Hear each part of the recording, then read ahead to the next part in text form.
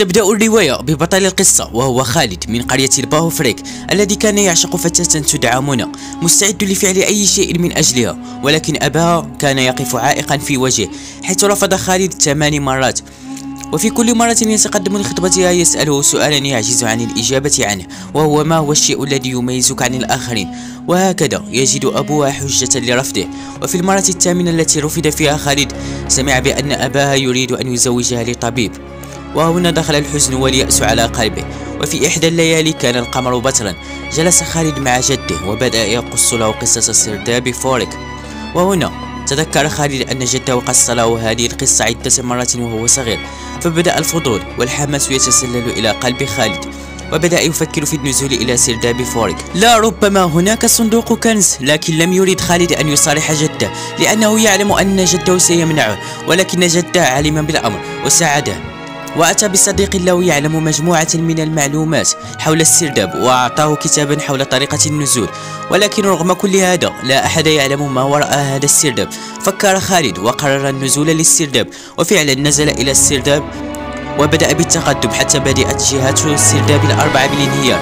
فأغمي على خالد ولما فتح عينيه وجد نفسه في صحراء واسعة ولا يرى أمامه إلا الرمال.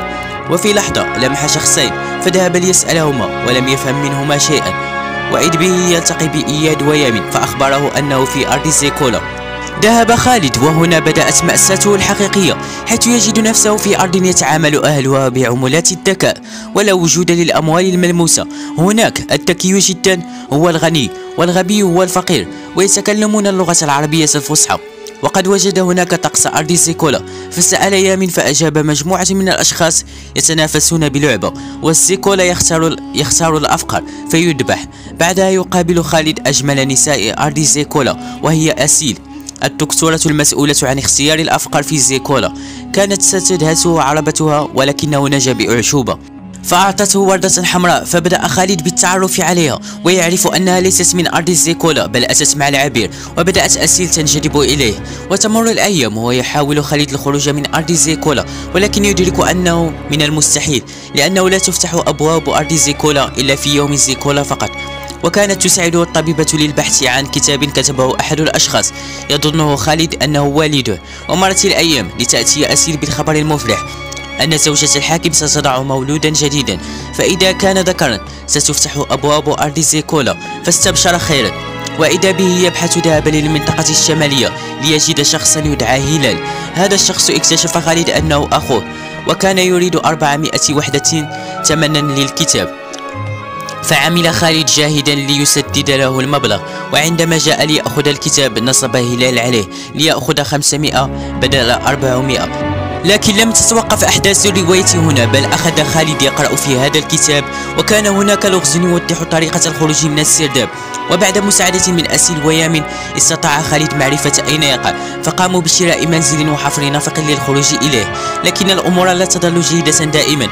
فبسبب ما فعله خالد لشراء المنزل والكتاب فقد الكثير من وحدات الذكاء وتم القبض عليه لأنه فقير ويشاء القدر أن يكون خالد أمام أسيل لتختاره أنه الأفقر وسوف يتنافس في أرض زيكولا وستتصارع أسيل مع نفسها وهي غير مصدقة ماذا حدث وماذا فعلت ولكن لتريح ضميرها أرادت أن تنقذه. دخل خالد زيكولا وخسر وقابلته أسيل قبل أن يذبح وطلبت منه أن يقبلها ثم قبلته أسيل وتركته. إذ بهذه القبلة أعطته وحدات لتجعله غنيا وهكذا نجا من الإعدام وحكم على أسيل بالخيانة وتركت الزيكولا وهربت. وترك خالد أيضا الزيكولا وعاد ليتزوج منى.